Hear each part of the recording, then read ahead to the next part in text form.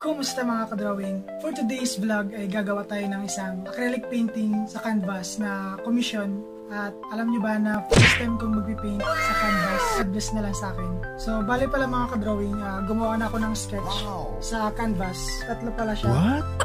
Ayan. Ito pa yung isa. So, samahan niyo ako sa pagpipainting nito.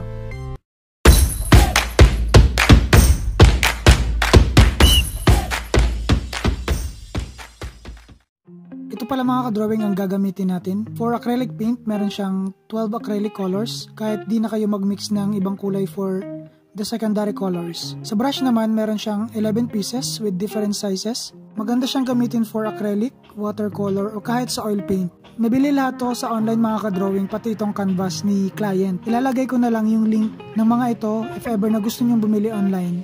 So, let's start!